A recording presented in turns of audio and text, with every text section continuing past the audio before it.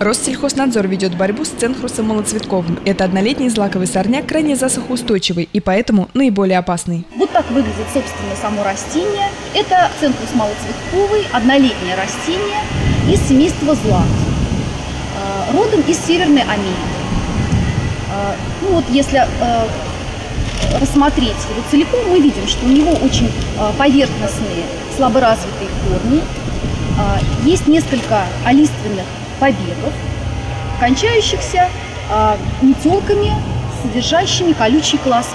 Вот эти колоски представляют собой большую опасность. Они легко разносятся ветром, а, они плавучие, могут а, долго держаться на поверхности воды и за счет этого имеют колючие прицепки, прилипают к шерсти животным, к подошвам а, и одежде человека и легко разносятся на большие расстояния. На территории Волгоградской области ценхрус впервые был обнаружен в 2002 году, и с тех пор с его распространением каждый год ведут борьбу.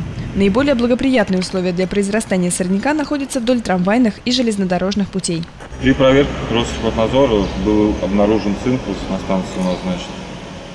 Мы принимаем меры по удалению этой травы на станции.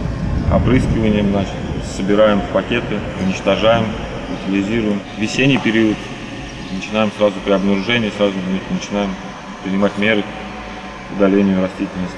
В том году провели работу значит, по уборке, хорошая работа, и в этом году вот уже видно, что меньше стало остаться. Ценхрус легко распространяется на значительные расстояния за счет колючих колосков, которые легко цепляются к шерсти животных, одежде людей и колесам автомашин. Колючки сорняка легко прокалывают кожу рук и ног, поэтому зарастание ценхрусом населенных пунктов доставляет жителям много неприятных ощущений, а засорение овощных и бахчевых плантаций сильно затрудняет уборку урожая. Еще более опасно проникновение этого сорняка на пастбище. Колючие колоски, попадая вместе с кормом в полость рта животных, вызывают у них опухоли и язвы, а шерсть овец, покрытую его колючками, очистить практически невозможно.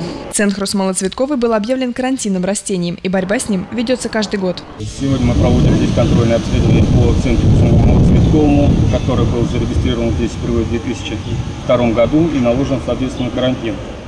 Вот. Контрольное обследование проводится а, ежегодно с каждым годом э, уменьшение происходит у данного э, карантинного объекта.